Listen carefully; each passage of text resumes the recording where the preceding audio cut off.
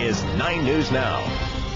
No, I think that at Virginia Tech, if one of those kids in one of those classrooms was packing heat, I think that that would not have happened. In Northern Virginia, our hottest local race just got that much hotter. The issue is guns and the Virginia Tech massacre. The candidate you just heard is Keith Fimian, the Republican gunning for incumbent Gerry Connolly's seat in Congress. Derek McGinty is our man with the story. Well, tonight, Leslie, we see Keith Fimian apologizing for the comments he made on that local television show. He appeared on Channel 50's News Plus program, and Fimian said when it comes to stopping the slaughter at Virginia Tech, the answer would have been more guns on campus, not less. I think that at Virginia Tech, if one of those kids in one of those classrooms was packing heat, I think that that would not have happened. There are it is illegal to, for, for, for students to carry guns yeah, into the uh, campus. You know, the, the, the perpetrator of that crime would have thought twice before walking into a classroom if he thought there was any chance of someone being armed and preventing him from doing that. All righty then, but this afternoon, we saw Fimian quickly backpedaling away from all that. His spokesman told me what you just saw there was an offhand remark which did not, in his words, take into account the gravity of the situation. Now, Fimian's also under some fire from a national gun control group for refusing to take a position on Virginia's so-called gun show loophole, which allows people to get firearms at a gun show without a background check.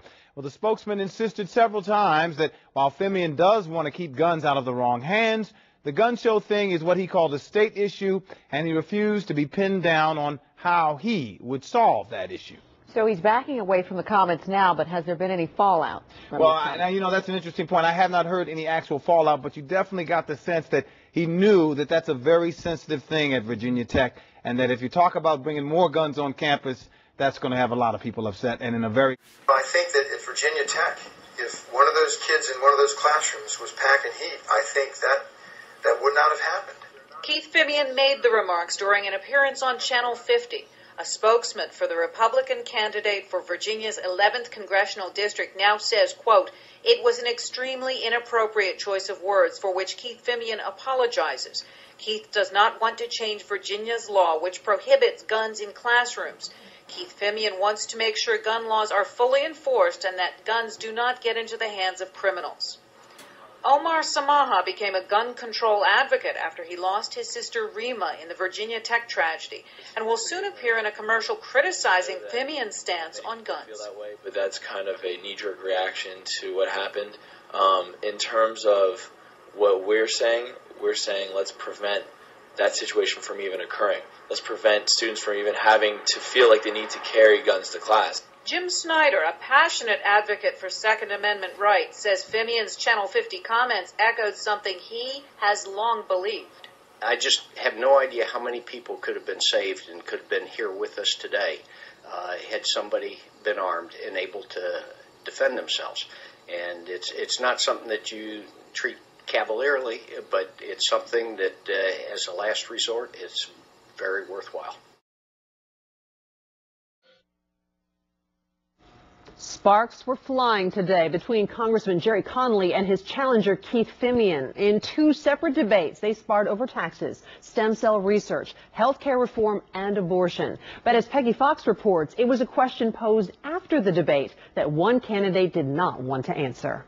Not only is Keith Fimian running for office, he's running from the media. He does not want to answer any more questions about guns or the gun show loophole. Should anybody who buys a gun like, at a gun show be subject to a background check? It's a simple well, question. And, and it's a yes no, or no. And in answering, I've, I've, I've, said that I agree with what Senator Webb and Senator well, Warner you, have said. What do you think? Which I agree with them, which is that, that dealers should do background checks at these gun shows. But licensed dealers are already required to do background checks at gun shows. Closing the loophole would force everyone else who sells guns at gun shows to do background checks. Fimian's opponent, Congressman Gerry Connolly, supports closing the loophole. Guns became an issue in this race after Fimian said this in a recent interview. You know, I think that at Virginia Tech, if one of those kids in one of those classrooms was packing heat, I think that that would not have happened. In this morning's debate, he had an apology and an explanation.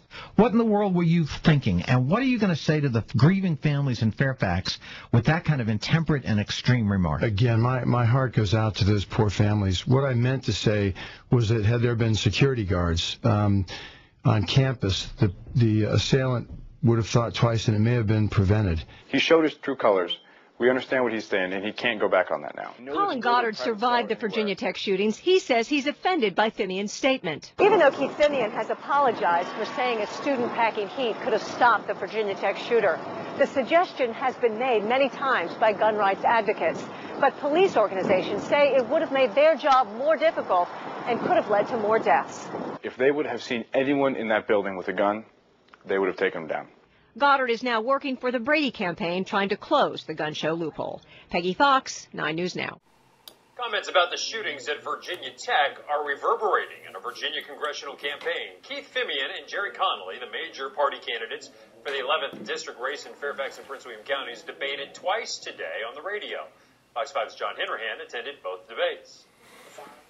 At two different radio interviews, Republican congressional candidate Keith Fimian apologized for comments made on Channel 50 last Sunday about the 2007 massacre at Virginia Tech. I think that at Virginia Tech, if one of those kids in one of those classrooms was packing heat, I think that that would not have happened. Keith Fimian is now backing away from endorsing the open carry of guns on college campuses. It was a horrible choice of words, and um, you know I regret it, and I uh, apologized for it. His opponent, Democratic incumbent Gerry Connolly, doesn't buy the apology.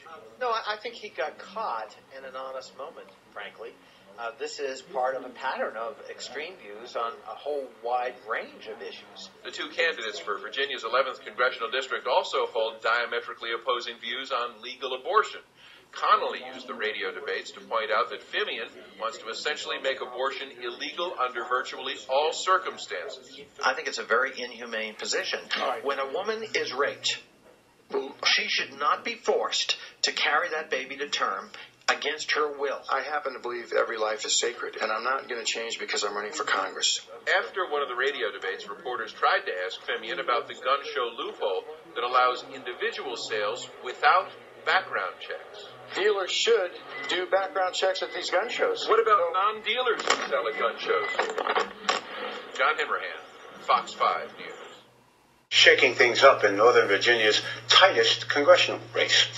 GOP businessman Keith Fimian is waging a strong challenge against incumbent Gerry Connolly. National Republicans are aiming for an upset there, but as Julie Carey reports, Fimian's comments have put him on the defensive just four days from the election. I think that at Virginia Tech, if one of those kids in one of those classrooms was packing heat, I think that that would not have happened. That was the statement that abruptly turned the focus in Virginia's 11th district congressional race to the issue of gun control. Yesterday, when Democrats spotlighted the clip on the internet, Republican Keith Fimian would not comment, his campaign spokesman instead issuing a written statement. During a WTOP debate today with first-term incumbent Democrat Gerry Connolly, Fimian said he'd misspoken. What I meant to say was that had there been security guards um, on campus, the, the assailant would have thought twice and it may have been prevented. Connolly wasn't buying it.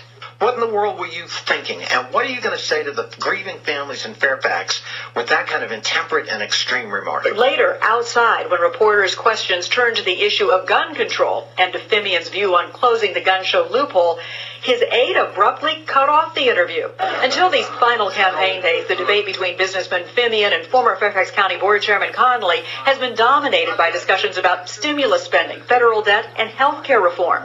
But as is often the case in Virginia politics, the issue of abortion surfaced too.